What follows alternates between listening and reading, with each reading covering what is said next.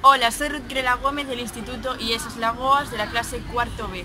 Hoy os vengo a presentar el proyecto de los reñidores, que son contenedores hechos de renio, un metal de transición que tiene como temperatura de fusión los 3000 grados centígrados.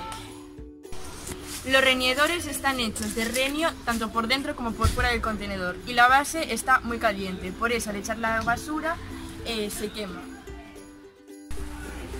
Los reñidores son contenedores hechos de renio. Están hechos de ese material porque aguantan las altas temperaturas que hay dentro y por eso automáticamente la basura se quema. Los gases producidos por los reñidores se acumulan en una cúpula. Los gases que se acumulan en la cúpula se depuran para poder ser expulsados a la atmósfera y que no contaminen.